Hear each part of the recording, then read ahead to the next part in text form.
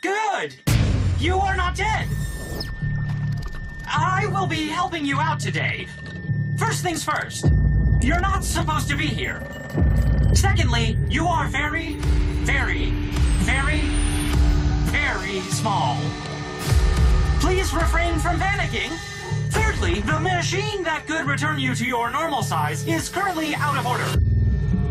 And everything in this backyard wants to, uh, eat you.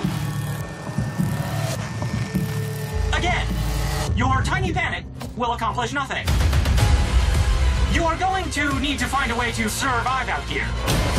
I would recommend building a base, maybe a simple shelter of some sort. Oh, and weapons. You'll probably need some weapons.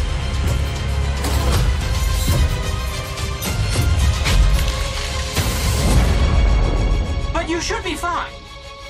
Unless you get eaten. You'll either be fine or you will be dead. It's really up to you.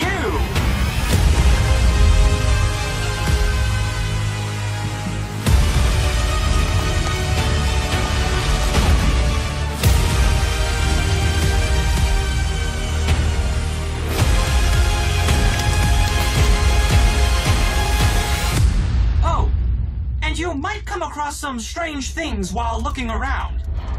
I'm not sure who put them here or what they want. What I do know is that they're watching.